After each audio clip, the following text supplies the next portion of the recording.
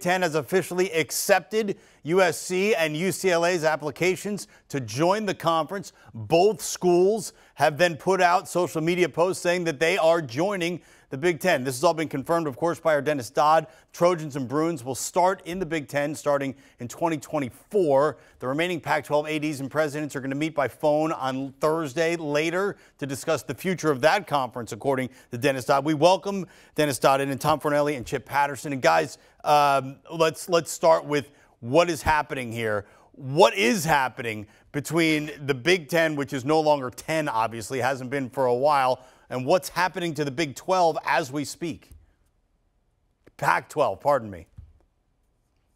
Yeah, this is it's a very this is a seismic shift. Another one that we've seen in the sport in the re- recent years. We saw a couple years ago Texas and Oklahoma have opted to join the SEC. They'll be there in a few years. They might be there. Who knows? With this happening in the Big Ten, maybe that process gets sped up a little bit itself. But we are seeing what has seemed to be somewhat of a fait accompli for college football ever since the last round of conference realignment that led to the Big Ten expanding to 14 teams and the SEC expanding to 14 teams. At the time, the big, you know, panic was, oh, we're heading for an era of four super conferences filled with 16 teams. Well, now we've got two of them, and odds are they're not done. What we could be looking at is two kind of like super league situations or two giant powers in the Big Ten and the SEC who do dominate the overall revenue compared to their other Power Five brethren, kind of vacuuming up all the big brands from the other Power Five conferences with the future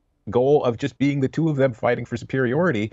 And as far as the Pac 12, obviously, losing USC and UCLA is huge. You're losing two of the programs that have been in your conference since the beginning. You're losing the LA market. And to be honest, you're probably going to lose more schools here in the near future. I don't think it's, I, I will not be surprised at all if the Big Ten, if now that's at 16, What's the difference between 16 and 20 at this point? I wouldn't be surprised to see the Big Ten grab another couple of West Coast schools to pair with USC and UCLA to help offset some of the travel concerns because the closest school to either of them right now in the conference is 1,500 miles away in Lincoln, Nebraska.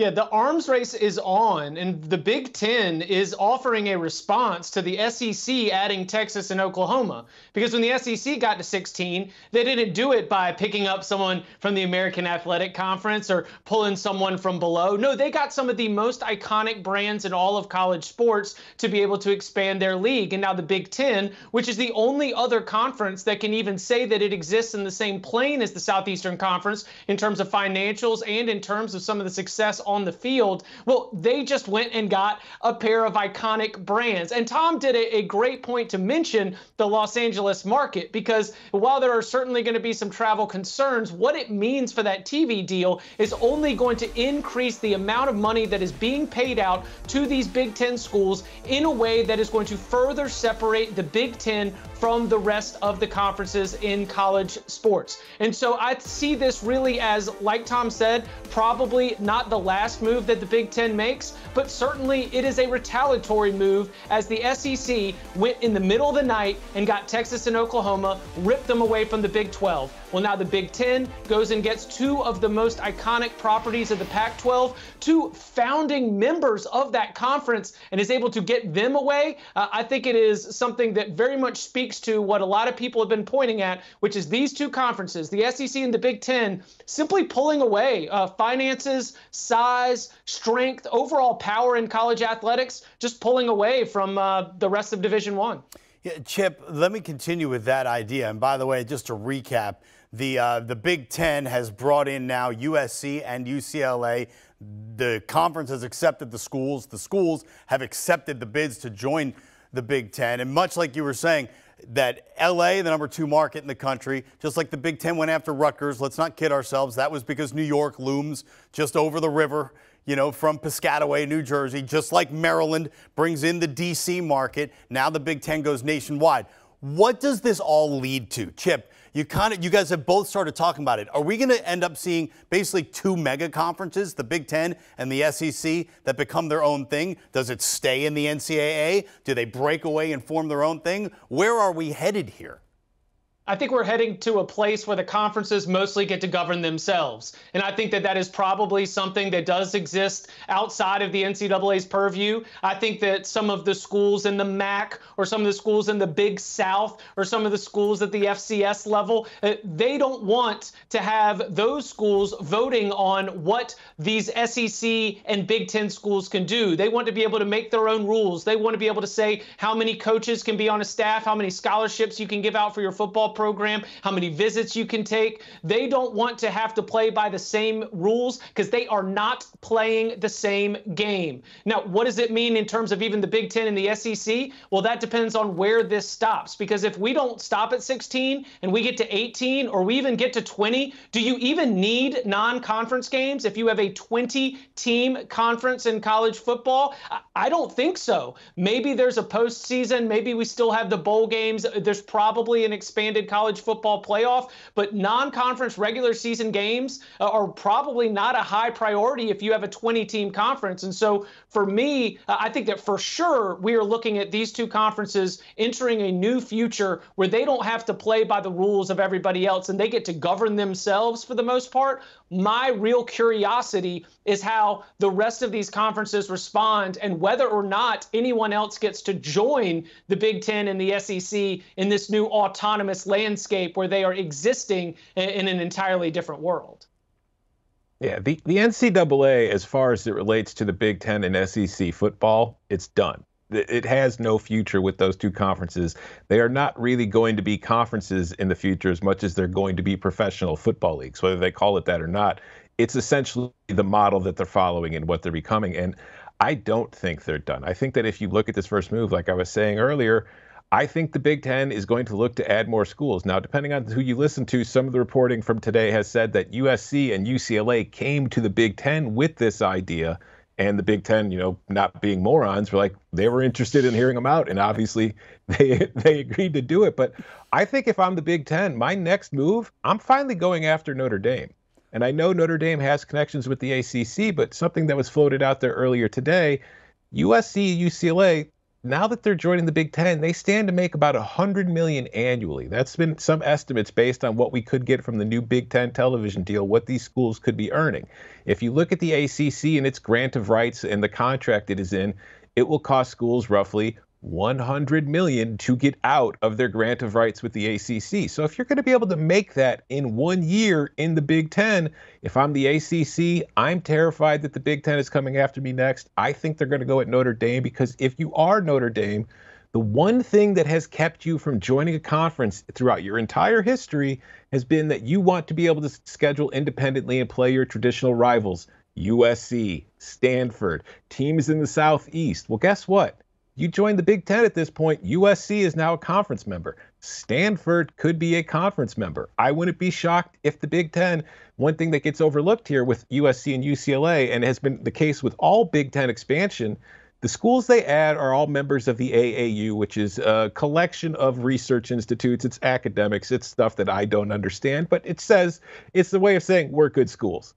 There are a couple of those schools in the ACC as well North Carolina, Duke, Virginia, Georgia Tech. I don't think the Big Ten is done. I think the ACC, Big 12, and Pac 12 are teetering on the edge. I will definitely have to get to the fighting Irish part of this equation in a second, but let's just recap the big news. UCLA and USC are leaving the Pac 12. They will be joining the Big Ten in 2024. Dennis Dodd, our very own, one of the first to corroborate all the particulars on this story. We welcome Dennis in. Dennis, I'm going to pose the question to you that I posed to Tom and Chip uh, just a moment ago. Where are we headed with this? Oklahoma went last year to the SEC, or news of it broke. There are only a few schools left on, you know, that, that had leverage, that had possibilities to do something after that.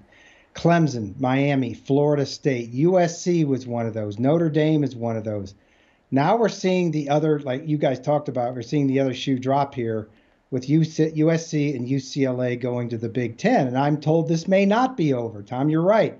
Uh, I think you have to look at Oregon and Washington. The, U, the Pac 12 presidents and ADs are meeting by phone as we speak to see which way they go forward. And if they lose Oregon and Washington, that's the end of the Pac 12. I think after the USC UCLA news, and that there are 32 teams at the top now that could stage a credible national championship playoff, you're gonna you're looking at the loss of the, the first major college conference uh, since the Big East in 2013.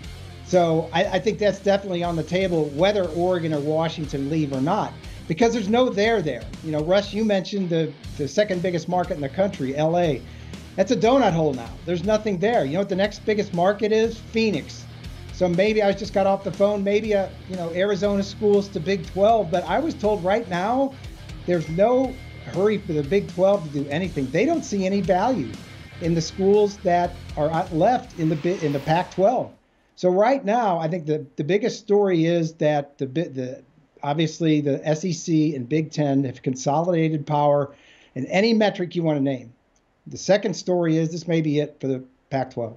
Yeah, look, eh, there once upon a time, and now it does seem like in a galaxy far, far away, uh, conferences seem to be geographically set. The Big East was well, it was in the Northeast. The ACC was Mid Atlantic, the SEC, the Southeast, and so on. Now we're throwing up a map of what the Big Ten looks like at the moment with their originals in the colors and then the newer members of the group in, in, the, in the lighter colors with Rutgers and Maryland all the way on the East Coast from New York and sea to shining sea with USC and UCLA down in Los Angeles, California. The days of regional conferences are certainly over. That begs the question, though is this just a monetary decision by revenue sports? Is this only football and basketball, or are all the Olympic sports and all of the quote unquote non revenue sports involved in this as well? And how are they going to make up for the money that it's going to cost to get the men's and women's soccer teams or the wrestling teams across country for conference matchups in season? Well, when you're making 80 to a million you know, to 100 million dollars a year, does it matter? Um, I, when I get off here, I'm going to be on the phone with UCLA officials and I'll ask them about the minor sports. But yeah, they'll be able to afford to travel those teams east. Uh, what I don't want to hear is, you know, what about the academics? Because they've thrown that out the window. West Virginia, West Virginia plays 980 miles from its nearest opponent in the Big 12 back when the Big East was trying to reorganize, they had teams playing from the East Coast to San Diego State before that fell apart. And now it's a reality where USC and UCLA student athletes will be traveling to Rutgers in New Jersey, three over 3,000 miles to play games. So, in answer to your question, Russ, yes, it's absolutely about the revenue sports, and it's about one revenue sport, football. Because as good as basketball is at UCLA, uh, football drives the bus at every school, including Kansas, the likes of Kansas. So this is about consolidating power, consolidating brands. I said before this that the SEC had the best, uh, I guess, group of brand schools ever in the history of college athletics. Now you got to include the Big Ten. They've they've added the two biggest, and now everything else is uh, is up to them. You know, I think they control college sports right now.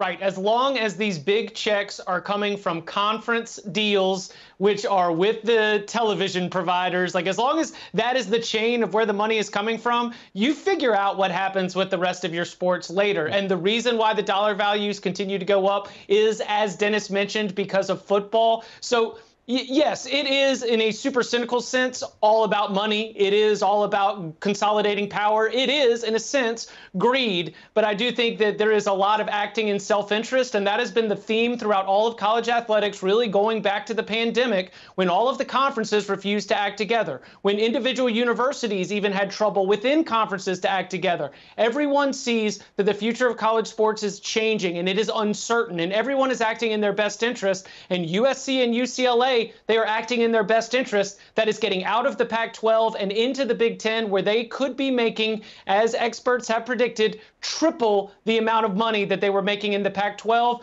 That means you can deal with the travel headaches later because you are in an entirely different ballpark in terms of the money that is coming into your university and your athletic department.